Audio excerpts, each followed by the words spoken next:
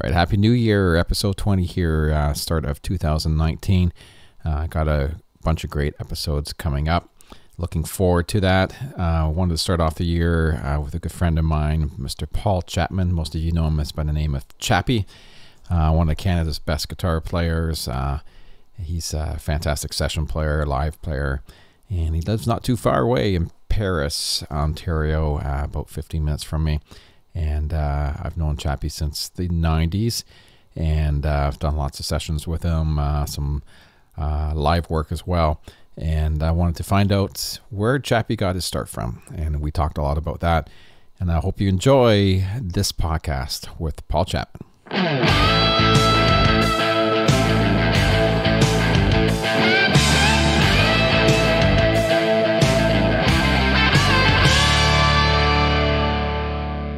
Can't do three hours. I got to go buy a fridge. I know. All right, let's get this thing rolling. All right. All right, we're sitting here with Paul Chapman, known as the Great Chappie. it's like a it's like a painting. Yeah, yeah. The Great a- Chappie. Or a disappearing act of Yeah. some kind. Well, good to have you here. I think this is the first time you come here without a guitar. yeah, I feel naked. Yeah, it's kind of Yeah. weird. Yeah, So you're is. just walking in, and and it's cold too. yeah, it is. It's a lot different than it was a couple days ago. Yeah. Good to have you here. We're at the studio and kind of hanging out, and uh, uh, it's going to be a fun year this year. I think. How's Yeah. your year looking? Good. Yep. So far, so good. Yep. Yeah. Yep. Filling in nicely. So, Paul Chapman, we're uh, I know everyone's probably very interested in finding out your backstory and where you, where did this guy come from, and uh, love. I I think you are certainly a legendary uh, guitar player across Canada and and in the United States as well. But uh, um, you always a fun guy to hang out with and always have a laugh, and I know everyone enjoys it. And and uh, So I think so. Anyways, yeah. Haven't been arrested for anything yet. So. No, I've never seen you. Think about it. I've never seen you in a, in a bad mood. I'm sure it happens. Uh, But- yeah, you could probably talk to my wife about that, and she'd have a Yeah, something to say about that. But generally, you're you're like a pretty positive up guy all the time. Um, seems Try like, to be. Try yeah. to be. It's always. I mean, just try to have fun. You know, I mean, take this stuff seriously when you're when you're playing, when you hit the stage, or when the red light comes on in a session or something. But you know, Yeah, I mean, I think it's having you in on a session or in a band really certain certainly lightens the load a lot. I mean, everyone having a good well, time. thanks. Thanks. Thanks. That's So that's lot. Where were you born? I was born in Parry Sound originally. Yeah, Um, I don't remember there being there. I was really young, and um, my dad was always in radio. Well, he was OPP back then. Uh, then we moved to Toronto. Um, so I spent up to grade two in Toronto. Um, and my dad got into radio, into private radio for years before the CBC. So we moved around a lot. I was in Toronto up until grade two. Um, North Bay for grade three. Aurelian grade four, and um, and then my dad started with CBC Radio up in Iqaluit. So was he? What, what did he do? Was he a uh, disc jockey or, Um, or no, he uh, news. news? Okay, Yeah. yeah, A reporter, journalist, and, and read the news. yeah. Um, then he started with CBC um, around s- uh, 78 or so, somewhere around there. Yeah. And uh, up in Iqaluit, in Nunavut, it was Frobisher Bay back then. Yeah. And so I went to grade five up there and then back down to to Sudbury. Uh, ended up in Sudbury pretty much from grade six on. So that's basically my, I would probably call Sudbury home if more than anywhere else because lived there for from grade six on up to through high school until I left. Until I left and uh, moved to LA and That's a lot of jumping around when you're young. yeah, yeah, but it's it's good when you're young though because you make friends easy when you're when you're that age and yeah, um yeah. You're not leaving it's not anything jumping serious behind Yeah. or anything. Yeah. yeah so sudbury spent a lot of time there when when did you start playing guitar I started playing guitar. Actually, probably, well, in Orillia in grade four is where I kind of started. My dad's kind of responsible for me doing what I do. He he was always a he player. He played guitar for years, and then uh, we played a lot of bluegrass. He was a five string banjo player for years, so Oh, yeah. that's how I kind of got started. Was he kind of showed me some, you know, G, C, and D and A minor and the the the, the easy the country corner chords and and Yeah. I just spent the first while just kind of sitting in the bedroom at home and strumming guitar behind him and playing banjo. That's pretty much how, how it kind of started. Um, went to a lot of bluegrass festivals growing up. Did a lot of that Yeah. kind of jamming by the campfire till five a.m. kind of thing, and played in some bands with him back then, and and uh, started playing electric guitar. Not, I started playing in general when I was about ten. Yeah. Uh, playing acoustic and stuff. Um, phased into electric maybe a couple of years after that. Got my first electric guitar from it used to be Music City in North Bay. Oh yeah. It was a Telecaster copy, a Lero Tele copy that uh, my dad got from me back then. You still have it? No, No. no, no. Trying to remember what happened. I don't. We probably just sold it, turned it back. And after that, it was a, it was a Burgundy El Degas Les Paul knockoff. After that, and then the Peavey, the original PVT oh yeah. big, like hundred pound ash body electric. They had the T forty bass and the T sixty guitar that came out back way Yeah. back then. Um, so yeah, I spent doing a lot of that. Just kind of always played bluegrass and mandolin kind of around the same time, and then picked up electric when I was probably around twelve or thirteen, and spent just a lot of time in my bedroom dropping the needle on different spots of records and trying to lift licks and trying to learn stuff. You know. So pretty well kind of self-taught. Did you? have- Yeah, pretty much. Yeah. My dad showed me how to get got going, but after that, it was pretty much just lots of time in my bedroom when I was a when I was a kid before school and at lunch and after school and just Yeah. playing along. To they used to sit and there was we were always looking for players. I'm a James Burton fan, an Albert Lee guy. You know, Frank Reckard, guys like that. There was certain players I was always looking for. So we found out they were on certain songs. I would always sit around with a with a tape deck, the old tape decks at home, with with record and play on pause ready. And whenever I heard a song on the radio I wanted, I'd hit pause, and you'd always miss the beginning because Yeah. Yeah. but end up with cassettes full of tunes off the radio with players that I wanted to hear, and you know just learning stuff like that. And It's I talked before about it, but back in the day when I I, I learned very much the same way on record players, right? yep, And what a pain in the neck that was trying Yeah. to drop the needle, especially if you once you got the first few bars down. yeah, And you wanted to listen to something that maybe about eight bars in, I know. you always have to go back to the beginning or try to drop it right in the right spot In the right spot, I know. and listen and pick it back up again, Yeah. put it back down, and and you think now how easy it is to just kind of you can slow things down. You can oh, I know, you it's crazy. um, Slow things down without the tempo change or without the the pitch changing Yeah. either.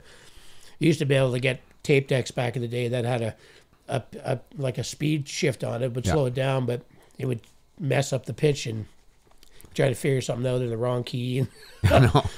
And the Guitar Player magazine came out with those tear out plastic records in Oh the middle yeah, of them. yeah, I forgot about those. Remember yeah. those? Yeah, yeah, And you'd have to put them on a regular album and put some pennies on it to yeah, weigh yeah. it Way down. down. Yeah. Man, I totally forgot about that. Yeah, there's a lot of stuff that came out in those things. All that they had tab with it, and Yeah. Spent learned a lot of stuff off of those things. Wow, gee, that just brought back. I know, I know. I know. so I did a lot of playing like that and around Sudbury. And then uh, my dad used to take me out to. there was a lot of, you know, people would come through town. Ray Materick and different people would come through town, and often my my dad would drag me down to wherever they were playing, and he, I was obviously not old enough to get in, Yeah. but he would kind of schmooze the bouncer at the front door and oh just can we just stand inside the door and listen we just want to hear the band kind of thing so Yeah. did that a lot and he used to take me out we used to go the park and the national tavern in sudbury used to have uh, well they to, to my knowledge well the park's not there anymore but those used to be like six night a week gigs and they had matinees on every saturday afternoon and Yeah. so i i was fortunate that by the time i was 15 i was as tall as i am so Yeah. I, it was easier to get in. So my dad would drag me down to some matinees and get up and jam with some of the bands. And I got up and jammed with a with a guy. It was a Charles Simon is his name. He's down in Niagara Falls right now, but he had a band back in several years ago called Charles Simon and Solitaire. And that's the first band I ever played with.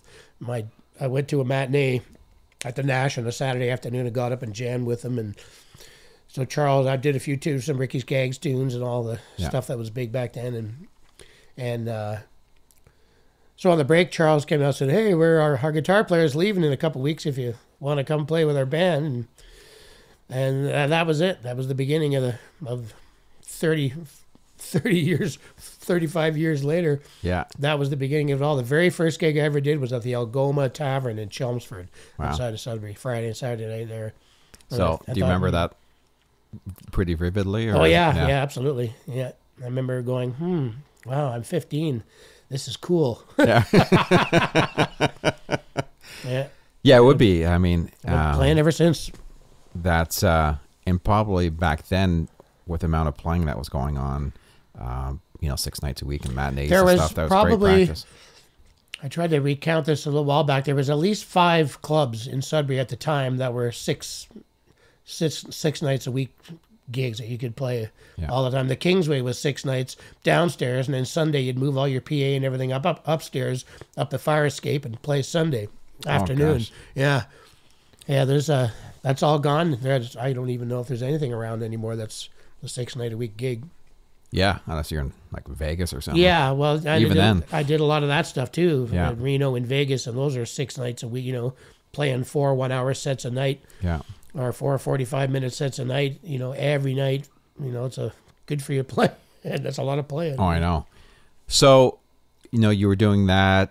You, you got your first band, and how long did you? How long did you play with them? Do you remember? Um, probably I don't know, maybe two or three years or something like that. Yeah. Yeah, and then did some playing with other bands around town. You know, subbing in and this and that.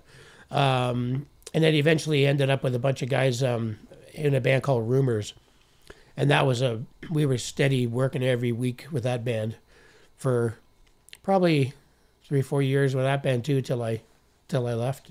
Yeah. So, as far as school goes and that, um, did you do anything once you finished up high school, or did you just stick just Nope. stick with music? Yeah, I graduated high school and some grade 13 credits back at, in the day. They don't have grade 13 anymore, but Yeah. but no, I was. Uh, it was hard the last year or so because I was playing so much, playing six nights a week and doing my homework on the breaks and the bars and stuff like that Oh, yeah. until one o'clock and getting up and going to school and and uh, but no, that was it. After that, I was just playing School of Hard Knocks. After that, So, did you have did you have any other aspirations that you you know thought you might want to do besides music when you were in school, or is it just or was it always just music was kind of consumed what you were doing? uh, well, when Raiders of the Lost came out, came out, I was going to be an archaeologist. Oh yeah. yeah, that was it. I was, I was gonna, I wanted to go to university and study anthropology and and, and stuff like that for a while, and and uh, it uh, never happened. No. I can see that. I ended up playing digging up bones instead. So, yeah, that's awesome. As close as I ever got to archaeology was playing digging up bones. yeah, I guess so. so, finishing up high school, um, start. You know, you're obviously playing a lot. Um, and what did you feel? What was your kind of big break after you? You're playing with this group called Rumors, right? yeah, Yeah. just playing around Sudbury and stuff. And I finished high school, I was doing that stuff, but I just wanted wanted to play more. I wanted to get out of Sudbury, and nothing wrong with Sudbury. It's a great town. It's a very artsy town, lots of music and stuff Yeah. going on there. But I just wanted to do more. I wanted to get out, and so I, uh, I, I, I took a I took two driving tests with a guy up there. Um, did my road test and passed and got my license, and then moved to L.A. so, so basically, I just wanted to get out, so I packed a packed up a Telecaster and a bag of underwear and moved to LA and bought a map and a car and and uh, there's another guitar player from Sudbury who's been in LA for years named Al Bonham. So I got a hold of him and uh, he kind of you know gave me some numbers of guys and told me where to go as far as the bars to go you know where to go sit in and jam and stuff like that and Yeah. And pretty much, yeah, I just kind of waltzed down there blind and bought a car and a map of a Thomas Guide book of map book of L.A. and found out where the country bars were and just kind of went in and introduced myself and jammed and stuff like that. And it was great. That was a great experience. I was there for four years and uh, playing all the time, and everybody was great about it. They were Yeah. they were no weird attitudes or nothing. Everybody was great. They were, come on and play. Uh, and end up working six nights a week there too. But it was a different. It's like a different place almost every night. You might yeah. you might play a Friday Saturday at one bar, but then you can play every other night of the week at a different place. Uh, Yeah. Every bar had a had a country night on one night of the week or something. You know. So, what made you decide L.A.? Why not Nashville or? Yeah, I've been asked you that before because I wasn't sure if I just wanted to play country. know, Yeah. because I was playing a lot of rock stuff too back in the '80s rock stuff. You know the Yngwie Malmsteen and Joe Satriani kind of thing, and all the the guitar god rock stuff that was going on. And I was really into playing a lot of that too. So I wasn't sure exactly. I knew there was a country scene in L.A., but there was everything else, and I just that's pretty much what it was. I just I didn't know if I just wanted to play country. Yeah. So, do you remember kind of getting on the plane and heading there? Yep. I mean, that's that's pretty ballsy move to just kind of jump from Sudbury to L.A. Yeah, I guess so. Um, yeah, I had a friend of mine, Tom Fife, uh, blues uh, guitar player, singer from Sudbury, drove me to the airport in Toronto, and uh, I bought. I remember I bought a. I saved up. I think I saved up like two thousand dollars or twenty five hundred dollars or something to buy a car, Yeah. and I booked a return ticket that was good for three months. Oh yeah. I remember that. So I knew I had at least three months to figure it out and see if it was going to work, um, and or if it didn't, I, I'd had my return ticket home. Yeah. But uh, no, I remember I got down there and I was, we have some some friends of the of the family that we knew, older couple that lived in in Bellflower, um, in the southern part of LA. I stayed with them for a couple of weeks Yeah. and uh, uh, bought a little car. Was driving around, and then I ended up uh, not far from their house, like a mile away. I ended up hooking up with Dale Watson. Um, he had a house gig at a bar called the Blue Bayou down in, in, in Lakewood or Bellflower. I think it was Bellflower. But anyways, and Dale had a, like a house gig there, five nights a week, like Wednesday to Saturday uh, gig at at the Blue Bayou, and he had basically him and Jim Leslie and, and John Lee White was his basic rhythm section, but then he hired a different fourth piece Yeah. every night almost. So I would just go sit in with them every night, uh, and I met most of the players in LA over like a three week period, just sitting in with them because Right. all the the rotating fourth piece you'd have. It might be a guitar player or it might have been, you know, Skip Edwards playing piano or JD Maness playing steel or something. But I ended up meeting like all kinds of players really fast. I used to just go jam every night just to sit in. And Yeah. Dale was really cool. He used to pay me out of the tip jar and give me a Right. few bucks every night just for coming and hanging out. But Yeah. well, that was a great, great thing there. And uh, So when did you when did you get your first real paying gig in in L.A.? The oh, the first gig I ever got was it's a funny. I went to the NAMM show while I was down there because I moved down there in the beginning of January, and I went to the NAMM show. Um, oh yeah, this was back in '90, I think, '89 or '90, and the NAMM show was still relatively small. It was still just in the Anaheim Convention Center, it hadn't spread out to all the other Yeah. places that it is now. And I was in there walking around, and I I I've uh, I was at the Fender booth, and I was noodling around.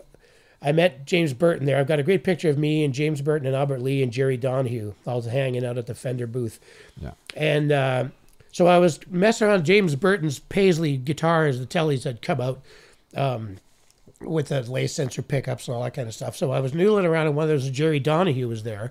So we kind of started jamming a little bit, picking together at the Fender booth at the NAMM show, and he was like, "What are you doing next Wednesday?" I'm going, "Well, nothing. I just got to town. I'm looking for work." So, so he go, "Well, I got a showcase at the Palomino with this guy named Charlie Mitchell. If you're, I can't do it, so I need a sub if you're interested." So Wow. that ended up being my first gig, paying gig in LA, was subbing for Jerry Donahue from the Hellecasters at the Palomino. So, so that was kind of thing. And but that's another great place too. Is hanging out there. The Palomino was there was a Ronnie Mack's barn dance on uh, Tuesday nights and the Monday night talent night thing with a stellar band. And those guys were fantastic. And there was a great place to just go hang out and meet people. Yeah.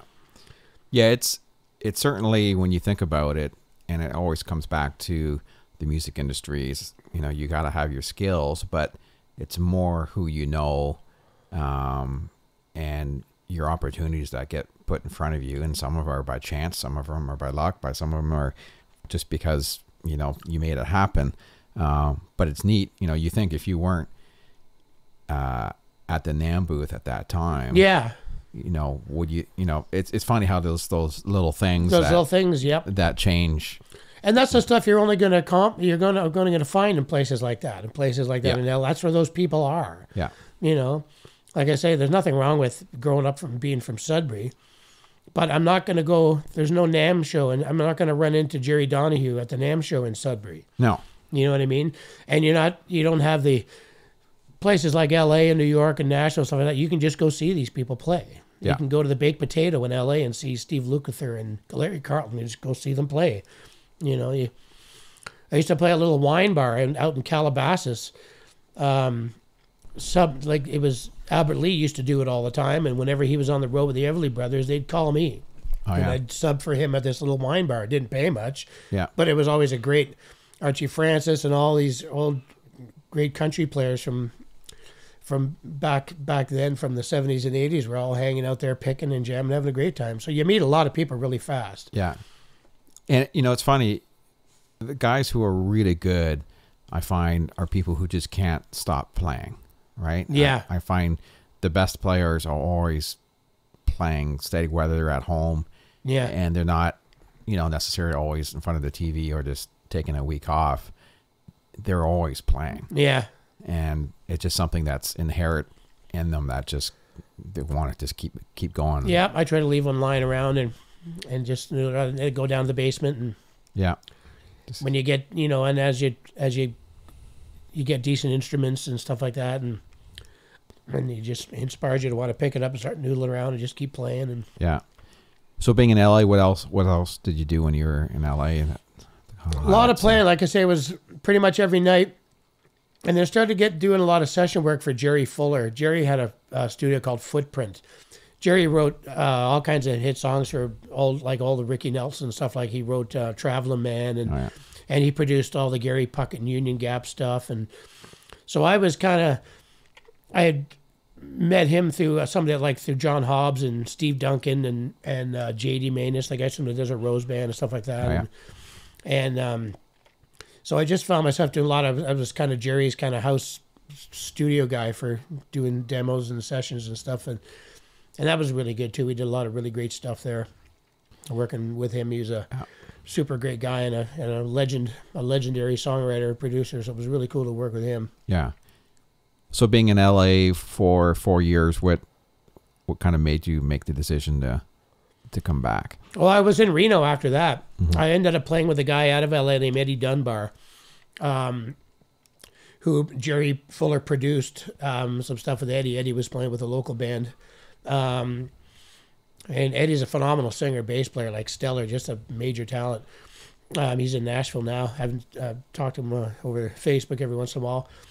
But um, so they were trying to groom Eddie for a record deal. They were Jerry, Jerry, and, and a manager named Bob D had got Collin Raye going. Oh yeah. So they were trying to groom Eddie to do the same kind of thing.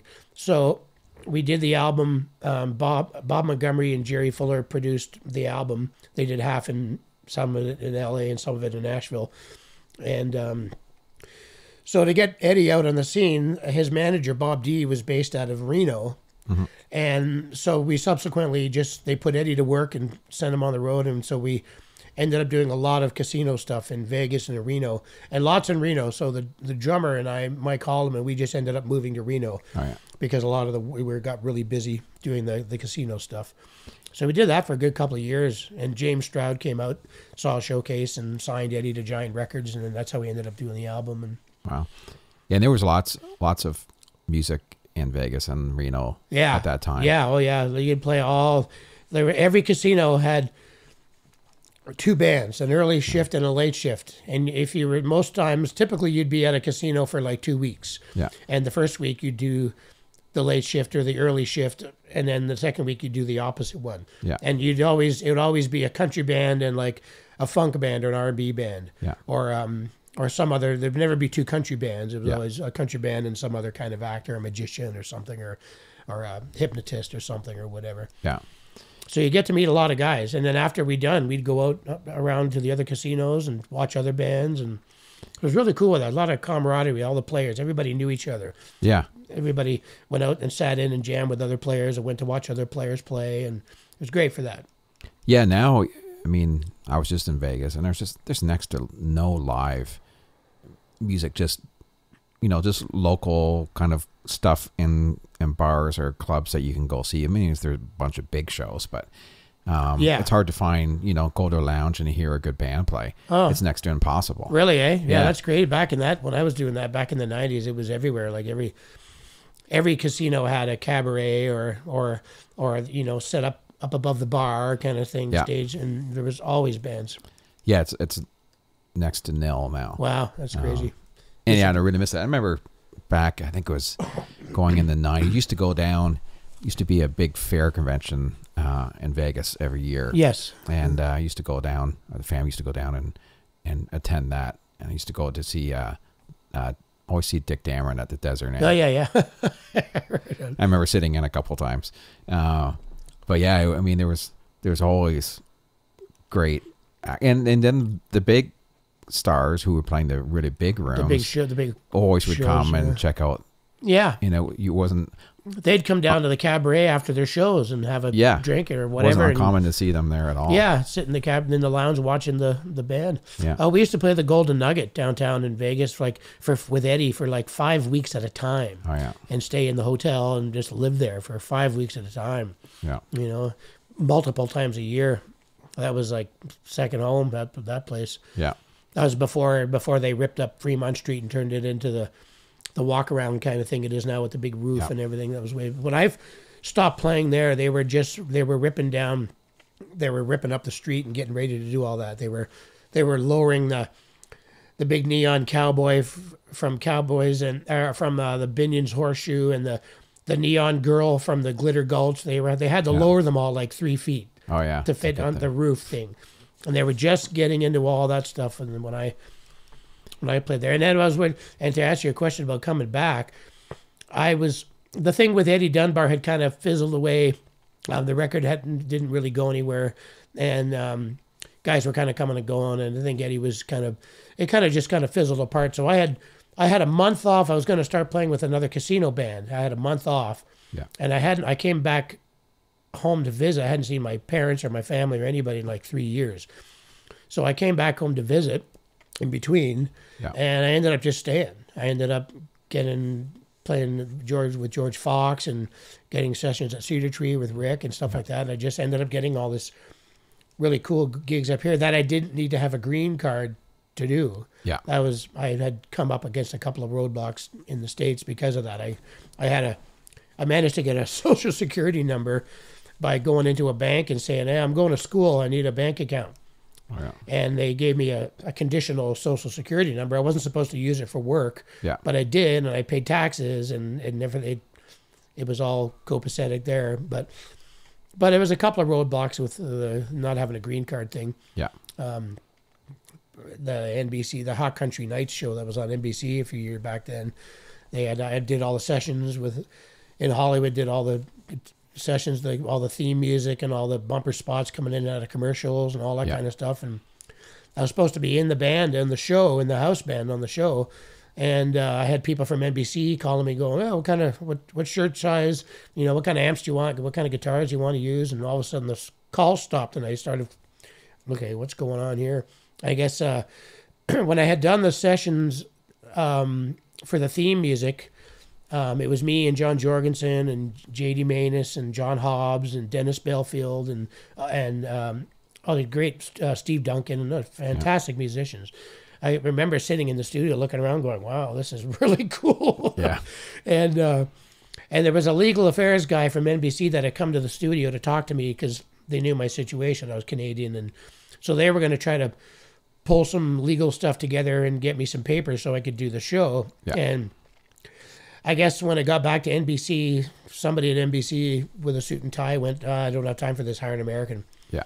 and that was the end of that. But needless to say, they did. I watched the show for two years or whatever it was on for, and I listened to myself on the theme music every week. And, uh, but um, but it's all good. It was a great experience, and you know things like that happen. But so yeah, I came back to visit and just ended up staying. I kept getting all these great sessions and gigs and stuff. And it wasn't the intention; it just happened. Yeah. So when you came back, where where did you move to? Where To did you- Kitchener, I, I So got in, in uh, a hold of uh, my friend Ronnie Alexander, who's uh, from Sudbury. Also, we grew up playing together. Yeah. and he had a who was playing around with a local with a country band based out of Kitchener. So I ended up in Kitchener working with him when I first came back, and, Yeah. And went from there. and I just kind of went from there, snowballed from there. Yeah. Yeah, because it didn't. I mean, I think it, it doesn't take long for everyone to know when there's a good player around. Um, it's a small industry, and It's it was like that in L.A. too. It was word of mouth. You know, I I was working my butt off there, and in no time. And it was good too. Like I said, nobody there was no bad attitudes about. it. Everybody was was very welcoming. Oh, you're, oh, you're from Canada. Oh, yeah. Do you know Donnie Reed? yeah, got a lot of that down there because he spent some time in L.A. But Yeah. yeah, it was. Uh, it's all. It's who you know. It's just word of mouth. It doesn't take long. You know. what was the next thing that happened after that? Do you remember what uh, what went in? I remember bringing a demo, a CD of some stuff that I played on um, to Rick Hunt at Cedar Tree. Yeah. So he started. He hired me, and I started playing on a bunch of stuff back, like all of John Landry stuff and Beverley Mahood stuff, and quite a few things back, Jamie Warren stuff, and for that. And then uh, playing around with Rodney's band, I remember playing a few some gigs in Toronto uh, at the Duke of York, and um, Burke Carroll and Mike Holder came out one night, and I met them. Um, and they were talking to me about the, you know, the Burke was playing with George Fox, and they Yeah. were looking to replace the guitar player or whatever, or somebody was leaving or whatever. And so, and then I started playing with George, got the gig playing with George Fox, and and of course you start doing the festival circuit and everything, and you start meeting. I met everybody really quick Yeah, that first summer I started playing with George because George was really active back then in the mid 90s, about 96 kind of thing, yeah, 95, 96. And and that was a really good gig at that time because you just met everybody. You know, Yeah, they were putting a- headlining, a headlining of- big festivals and stuff. And they were putting a lot of money in George, yeah, and uh, he uh, yeah, he was still with Balmer back at that time. Yeah. Um, I did George. I played with George when he.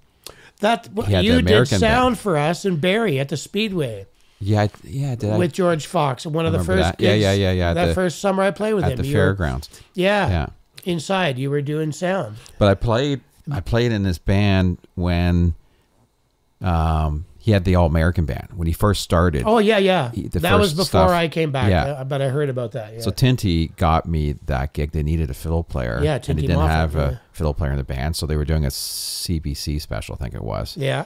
So I did that, and then I did a bunch of dates with him. Um, I don't know what happened with the whole American band. I think that just kind of just fizzled out. It was expensive to have those. They're flying those guys yeah. up. Yeah, because I mean, all I'm thinking time. was George was. He opened up for Randy Travis on a tour, I think, at that point, Yeah. right? When with I think, my- yeah, they were same thing. There was a bunch of stuff, and then um, with that the band. whole American band thing that Yeah. kind of uh, fizzled away. Um, but yeah, George is uh, uh, George is great. He had a and, and Burke was playing. Yeah, Um, so that was a good band. Mike and you met Mike Holder, which is yeah. Mike was doing a lot of work for me in the studio here uh, Okay. back in that time period. We Well, were- I met you not long after that, all Yeah. too. I started doing sessions here. and that could have been through. I'm trying to remember how that that happened through, but that happened maybe through. Could have happened through Mike. It might Um, have. I wasn't sure who. I don't remember. I know. How long ago was that? yeah, I'm suffering from OLD now, so I don't,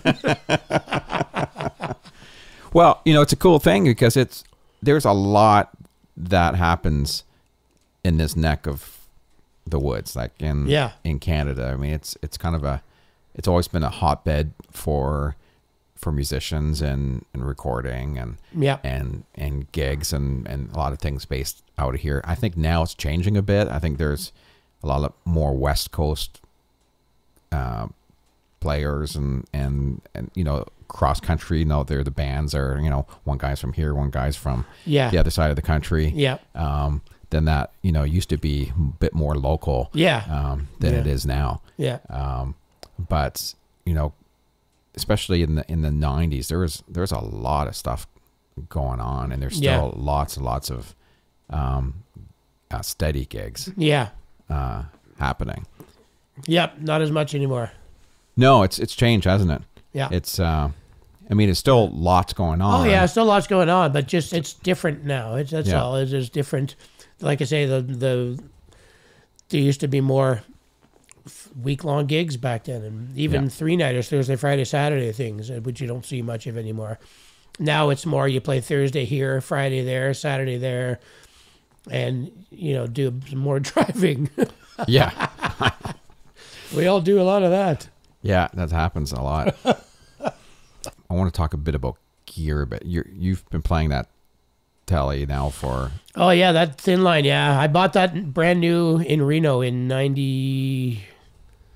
'93, I think, at Bizarre Guitars. I was in the mood for a telly, and I went telly shopping one day, and I went Yeah. to a bunch of different stores and tried out G and Ls, and I went to Bizarre Guitars, which is a great big, um, fantastic music store in Reno, and they had a wall of two rows of Telecasters yeah, and I played probably all of them. I played, you know, really expensive, like three thousand dollar custom shop ones that just sounded terrible, yeah, and then other ones that were okay. And I just kind of went down the line, and and there was a I saw the one I have now, the the mahogany thin line with the F F hole in it. And I said, well, give me that one. Let me try that one. I pulled it off the shelf and plugged it in, hit the open A string, and it rang like a Steinway. And that was it. That's it. Pack it up. That'll Yeah. be the one. That's all I had to do was hit one string open. and it just rang. Do you remember? Better What, you- than do you remember what you had to pay for that one? five hundred and seventy-five bucks. Wow, that's Yeah. probably the best five hundred seventy-five. Oh god, that thing doesn't owe me anything. I just recently had it refretted finally for the first time. Wow. Yeah, it was in dire need, but it's got a lot of playing on it. That's for sure. Do you It's, have? uh, I've, it's, I've, I've, it's kind of a Frankenstein guitar now. I've replaced the nut and things like that, and the bridge and the back bridge pickup in it is an original '63 Telly pickup that Dave Kalmusky found for me years ago. Because the back, the original one that was in there went microphonic on me, so um, he found that one. But otherwise, I put a middle pickup in because I like the having one guitar and having you know have the five way switch and get the strat the phase strat tones and stuff come in handy. But uh, yeah, it's pretty beat up now. Yeah, I like. I mean, I I prefer an instrument that looks like that. yeah, yeah, yeah. It's got a lot of character, that's for sure. Yeah. Yeah. So, did you ever, um, once you were back here, did you ever thought that, yeah, maybe I should move back to LA, or maybe I should go to Nashville, or, or uh, did it ever kind of cross your I mind? and- I thought about the Nashville thing here and there. I've been there a few times, but uh, and then uh, I thought about it for I'd think about it here and there, and then uh, go to my gig. yeah, it was just busy. So I didn't, yeah, I don't know. I don't know if I would, I don't know. I wouldn't mind go, being able to go down there and do some playing. I know enough guys, yeah, but I, I'm not, I don't have like this screaming desire to pack up and go do the Nashville thing, you know? there's a hundred thousand guitar players there too. Oh, sure. Not that you wouldn't stand out at all. Um, But I wouldn't go do But- that. I I I would use people that I know and Know try to get- try yeah. to hook up with a session or something. And Yeah. you know, and kind of do that. I wouldn't just be you know pounding the pavement and knocking on doors like the other three hundred thousand guitar players that are down there. You know, Yeah, and here in you know in in Canada, um, there's a lot of you know still a lot of guitar players, but there's not a ton of really great guitar players.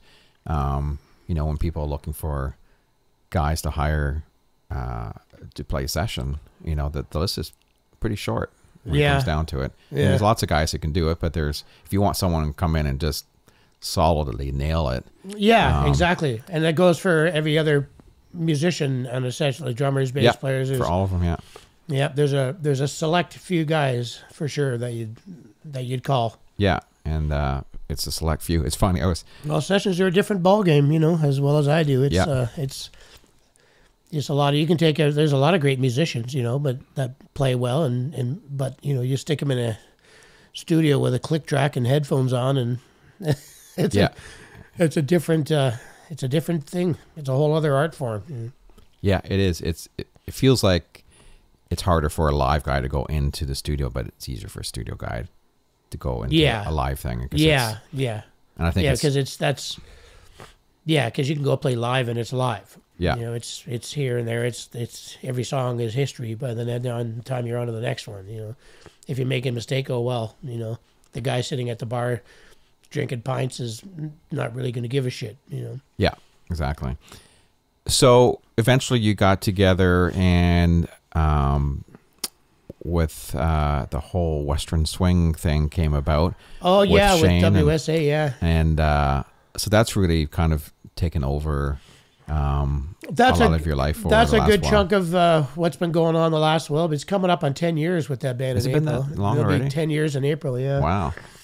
Yeah, and again, that was just another situation with. Uh, well, that was mainly Shane Guse's idea, but everybody in the band are all players that we knew, and we all worked together. We're all you know full time professional working musicians that just decided to get together and play some Western swing. You know, started just for fun at Tuesday on a, every other Tuesday night out of Maryhill at the commercial, and. Uh, yeah, it was just something to do, just for fun, just to go. Screw it, we're playing Western swing, and that's how it started. And now it's you know ten years and four albums later. it's Yeah. it's uh, it's morphed into something really cool. Yeah, yeah, it's a really it's a great band, great cast of characters. We're all crotchety and old and jaded, and it's awesome.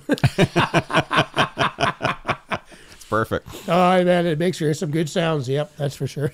Well, I mean, it's great because there there isn't any other Western Swing groups I know of around, um, and it's it's it's great music. Yeah, I don't hear much of stuff. I know there's the Bebop Cowboys in Toronto and stuff doing their thing, but uh, yeah, I mean, I don't know too many other just full on. I think there's a band out of Calgary that Craig used to play with. Yeah. I can't remember, but not. Yeah, I mean, you can count them on one finger. Yeah, exactly. how many? How many full on like just bands that just do nothing but Western swing? so when you started with that, what was that like playing style wise? I mean, it, it's different. It's Western Swing's different than country. Yeah, different it's than the jazz thing. Yeah. I, I'm, which I'm not a great jazz player. I never studied jazz. I, I, I call it bullshit jazz. What I what Yeah. I do with Western Swing Authority, but I'm trying to emulate. Um, my biggest uh, inspiration for playing that stuff was Clint Strong, the young fellow that used to play with Merle Haggard for years. Yeah. The jazz guy who played the Les Paul, and he was he ended up being a. And in fact, he's the guy who started calling me Chappie Okay. when I lived in Reno. He was living at my friend Mark's house in Reno. Uh, he wasn't playing with Merle at the time. He was playing with Ray Price and with Freddie Powers. So he was doing the casino thing too. So we used to go watch Clint play, and and he's like I say, he was living at my friend Mark McKinnon's house, and man, we go, we'd finish a casino gig and go over to Mark's, and Clint would be in. At like four in the morning, he'd be in the middle of a full-on bebop jam session going on in the living room, and he was just just an absolute monster guitar player to watch, like a bebop jazz guy. Yeah. Like it's frightening to hear him play.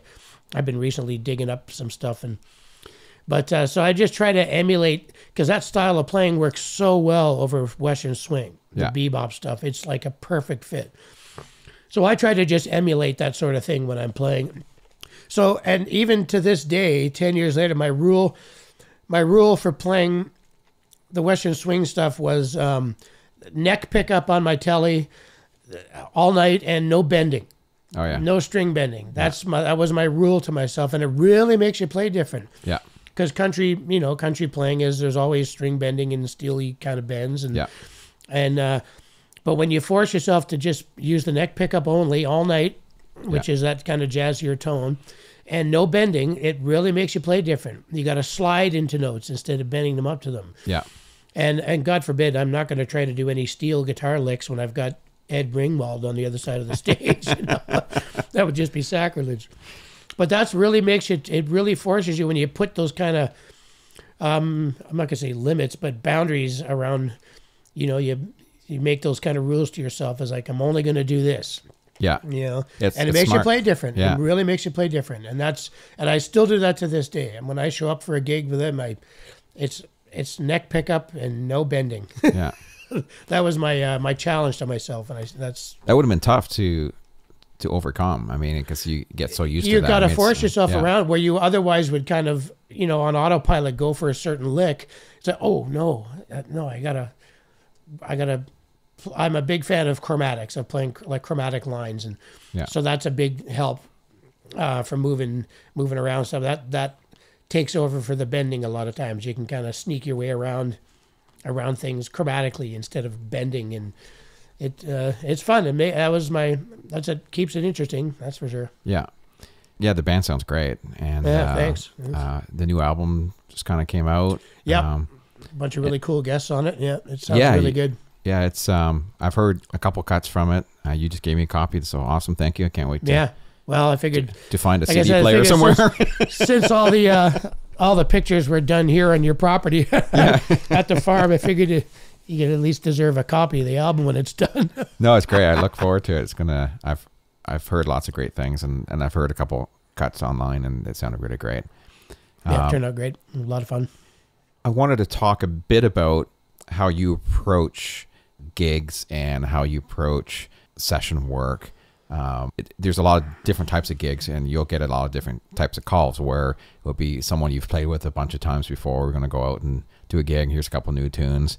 Um, to you're just going to jump into a band that you've never played with, and Yeah. and and you know how how do you approach most of the time when you you head into a gig say you haven't played with somebody before and you you get the call and we need a guitar player are you someone who likes to spend a lot of time and, and sit and prep a lot or are you a guy that kind of goes in and goes for it or what's your what's It's your kind approach? of well a bit of both. I mean, obviously depending on the gig. I mean, club work and stuff is no, but I don't know. It should be the same thing. If I'm working with somebody I never worked before, I'm gonna I'm gonna write charts. I'm gonna write number charts. I'm not gonna spend days and hours and hours and hours memorizing a lot of stuff. I, I I'm good at reading charts, number charts. yeah So, um, and I'll learn, you know, intros and stuff and whatever like that.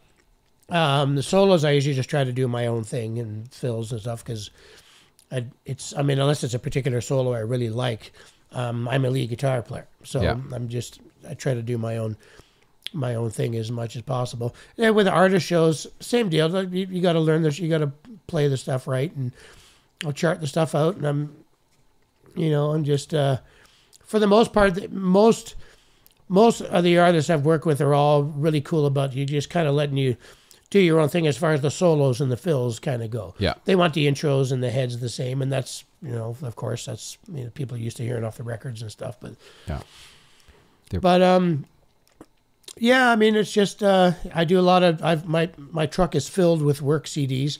yeah I've always, I'm always, you know, I'll write the charts for this stuff and I'll make a work CD and pop it in while I'm driving around and and that sort of thing. And uh, it's a lot of tunes i mean i know sometimes it could be crazy. Yeah, if you're learning like 30, 40 tunes or something for somebody or for a show, I, I don't trust my memory that great. I'd rather have some charts. yeah Most people are okay. I mean, you know, you see people reading music everywhere. It's not, Yeah. it's not, you know, all the professionals do it. You know, you that's what music's for. yeah So I'd rather have the charts and and read the chart and avoid a huge train wreck somewhere, and you know that just doesn't work. Mm.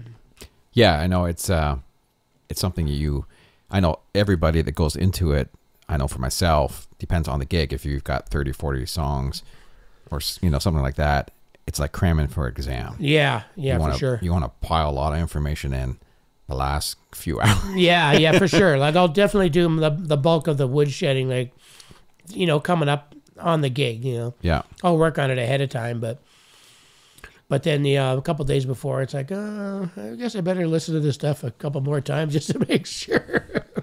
It's challenging, especially for a guitar player. Um, I mean, it's challenging for every instrumentalist or musician in a band, but the guitar player, you know, has a majority of the leads. There's always a guitar intro. yeah, It seems like. yeah, and, they, and that's those are the ones you know. You need to remember what those Yeah. intros are. I'll I mean, tab that stuff out on my chart. Once I write a number chart, I'll write a little tab thing at the bottom and I'll tab out the intro Yeah, just to kind of jog my memory in case I, you know, forget or something or whatever. But yeah. Guitar player, drummer, always the the tough off the top of Yeah, the song. yeah. there. You know, everyone else can kind of lay out for a second. yeah, yeah, that's right. Yeah, no, I can't hide in the weeds very often. That's for sure. Yeah, Because there's always some, and there's always uh, some specific part that's got to happen. I mean, you know, we know with overdubbing, there's always a million. There can often be, you know, the wall of guitars and lots of different guitar tracks going on. But if I'm if I'm dealing with like a five piece band and I'm the guitar player, you know, I've got to I've got to come up with one part that's going to kind of cover a bunch of parts. a yeah. bunch of parts or mm-hmm. pick one meaty part of it and do that or or that kind of thing and some a lot of times it's just intuition too i just kind of let my my intuition take over and go okay this is what you need to do Yeah. you know this is what's going to make this song come alive and support the song and that's what it's about ultimately is it's not about the four or eight bars that i might get a solo on it's it's what i got to do after that or before that you know? Yeah. for the rest of the tune. You gotta you gotta be a good solid rhythm player. You gotta have good time. You know, Yeah. it's not just a drummer. It's got to have good time. Everybody's got to have good time. Yeah. You know, especially like you know, especially in any, any situation where there's a click track going on, even live. You know, I don't know. Like there was a point with Susan Aglukark's band where the whole band was on in ears and everybody got the click track, Yeah. and that was beautiful. It was like doing a session live every show Yeah. and I love that. I love playing the click. It's great. But Yeah. you gotta have a yeah, you gotta have good time. Yeah. It makes a big difference. Yep. And you, yeah, you do, especially your acoustic playing is your your timing is really, and you I can tell you you're very aware of of of timing around you too. Yeah. Yeah, uh, yeah, it's yeah. I, that's a bluegrass thing, man. Yeah. You grew up playing bluegrass. That time is just there. There's no, you can't be lazy and, you know, dragging or whatever, or even and the other for rushing for that matter too. It's just you got to be, you got to be bang on. I love the older I get, the more I love playing rhythm. Oh yeah. I could sit there and strum those rhythm acoustic tracks. I could do that all day. I just love it. Just zeroing in on the on the time and just making that stuff, you know, yeah. Just nailing the time. I love love it. Yeah, your your your acoustic playing has definitely gone through the roof since I started working with you. never, there wasn't never wasn't as if it wasn't good, but that last session you did here, um, it was like holy crap! This, you, you mean you're you were just nailing stuff, Oh, top thanks, to man. bottom, right off the top. Like, Oh, knows thanks, thanks. knows the, um, you could tell that you you, you enjoy it and Yeah, and yeah, I do. doing it a lot. I like to bury that click, man. It's great. you Yeah. know. Oh, and a session too. I mean, time is money in the studio, man. Recording isn't cheap, Yeah, you know, and so you want to. I aspire to do that, you know, like, you know, you got to get in there and you got to get it done and get it. Especially nowadays with hard drive recording, you know, there's clicks and grids and going on all over the place, and, and Yeah. it's being used for a reason, you know. So you got to be turn up the click. I'm good with that. Yeah, and you know, as someone on my position, sometimes as a producer or an engineer, when you've got a bunch of guys in and you got one person that can possibly slow things up, that's a big deal in this session. In. Absolutely, somebody's paying for that Yeah, for that time. and it it it gives a bad vibe to the whole session because everyone now is like, oh, okay, we got to wait. Oh, I this. know, and I don't want to mm. be that guy. I don't want to be that weak link where Yeah. you know they're after every pass, I've got to go fix a ton of things, and everybody else is waiting around, and Yeah, yeah, it's no, it's not good. I I try I purposely try to avoid that. You know, yeah, it forces you to kind of really hone that. it does. That's the thing about doing sessions, man. You really got to buckle down and produce. Yeah, It's not, uh, especially doing a master session. You know, like it's there's a lot of time and money involved. You know, Yeah. It's not, and it's not about it's not about getting done fast for the sake of getting done fast to go home. It's about getting it done fast and well. yeah, You know, for that reason, so you're not taking up more time. You know, it's not like I don't give a shit. It's just that it has to be. I want to nail it. I want to nail it right on the money and on the click and and get it right as soon as possible. So you have more time to do other stuff. You know. yeah, and I think a long time ago that people used to spend a long time putting an album together. Yeah. You know, Oh, it used to be like an event. You spend months, and um, you know, you can still spend months now, but it's not. But that was more. That's to me. That was more of when it was like a band situation. When you get a band yeah, that goes into the studio, when it's a band and not necessarily a bunch of session guys. yeah, So then you take a band. A band would would hire book a studio for a month and and do their and do their. I mean, it might take them a day to get a, a drum track, yeah, just for whatever reason, and that it's a band project thing. But um, but when you hire a bunch of session guys, that's a whole different thing. You can well, you know, crank out, you know, numerous tunes in a day and great sounding bed tracks. Be, you know, with guys that can do that, could walk in and, and nail it and leave. Yeah. You know, and make it sound like they've been doing it with that, you know, for twenty years with those kind of guys. You know. It's interesting now. I've been paying a bit more attention to newer songs on the radio now, and specifically guitar parts. Because I was flipping through uh, satellite radio the other day, and I was listening to you know some of the older stuff, um, and you know 80s, 90s country, and then listening today. And in the 80s, 90s, there was there were a lot of parts. I mean, there was Yeah. intros and there was really signature guitar licks all throughout the songs and other instruments as well. And and I flip over and then I start listening to what's happening now, and it's still really guitar heavy bass based, but it seems to be it's just rhythm driving. Yeah, a lot of tough guitar parts, just tough rhythm chug tracks and, Yeah. and, and things like that. Like like just thick, just like um, I don't know how to describe it, but yeah, like the wall of guitars thing, where it's just it's more for it's yeah, it's, it's less individual notey parts and more of just like um Just a heavy drive, you know. It's Yeah. more rock. yeah, Uh, more of a feel thing than actual particular notes going on. Yeah, because I, I I forget what I was listening to. Is I listened to a few songs in a row, and I was like, God, there's like there's no, you know, the piano takes this verse, guitar fiddle takes this Yeah, verse. yeah, yeah. There was like none of that. It's just Yeah. it's just everyone's just it's just guitars full up, Yeah. bands playing, and Yeah. there's no licks kind of of any sort besides a solo here and there or an yeah, it's intro kind of of like sort. the the guitar stuff now is like it was like '90s rock Yeah, stuff. It's just big guitar parts and, and rhythm tracks and things like that, more textural things and actual fills and licks and, and things like that. Yeah. Yeah, and I don't know as a guitar player if that is as fun or as interesting to play. I don't know. It's it's, It's what you different. got to do. You got to keep up with the times. I mean, Yeah. you know, but it, but it's different. I mean, I, but Mm-hmm. like I'm not playing nearly as much chicken picking stuff on people's records now as I did back in the '90s. Yeah, It's just a different. That's just the way the music is. It'll it'll always it works itself around. It always does. It seems like every ten years there's a a new, New batch sound, of people yeah. grumping and complaining about the way country music's going. Yeah. But that's what it is. But uh, yeah, it's it's a different thing, different tones and and um, but again, it's back to that timing thing. Like they're, they're more rhythm oriented parts Yeah. now.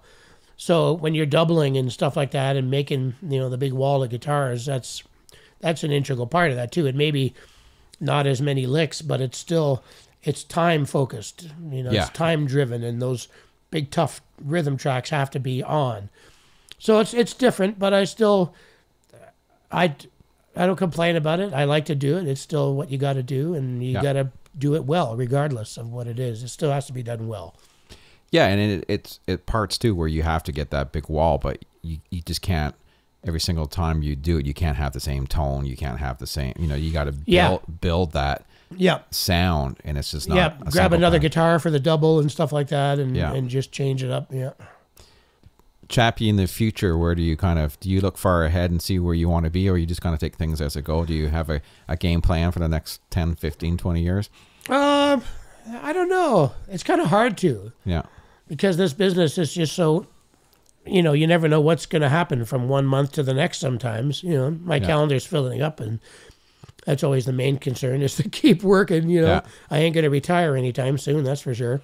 yeah. You seem like a guy that I can't see retiring. You know, like it seems. yeah, no, Not that no. any musician really retires, but you, Yeah. I see that you're a guy that would just keep playing as you know as long as you possibly Yeah, I mean can. that's what I do. I don't do. I don't fix trucks and stuff like that, and I don't fly planes and stuff. You know, so that's this is what I do. So I just try to keep at it. And it's funny how there's always. A, I'm trying to get.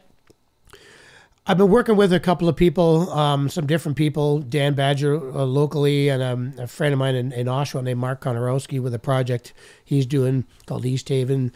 And um, it looks like I might be doing some work with um, small town girls, the sisters from down in Tillsonburg. But I want to get into doing some more producing. yeah, That's definitely something I've been kind of dabbling on that. and I want to do more of that. I want to get on the other side of the glass and, and do some more of that. That's something I'm. That's something I'm kind of working on. Kind Yeah. of Yeah, you should do that for sort of- sure. Yeah, that's something I want to do.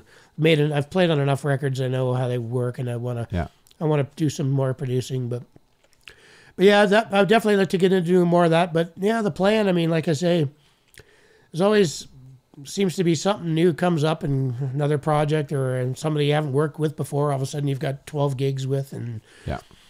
I enjoy doing what I do in freelancing and playing with a million different people. That's I love doing that. I've it's always been my thing is is is to show up with a band I've never played with before and make it sound like I've been there for 20 years. Yeah. That's fun to me. Yeah. And it gets easier. I mean, I've been doing this for a long time now. It, like 40 years since I started playing guitar. And so it just it's fun for that. I enjoy the the just being able to walk up there and let my let my intuition and experience take over and tell me what I have to do. You know.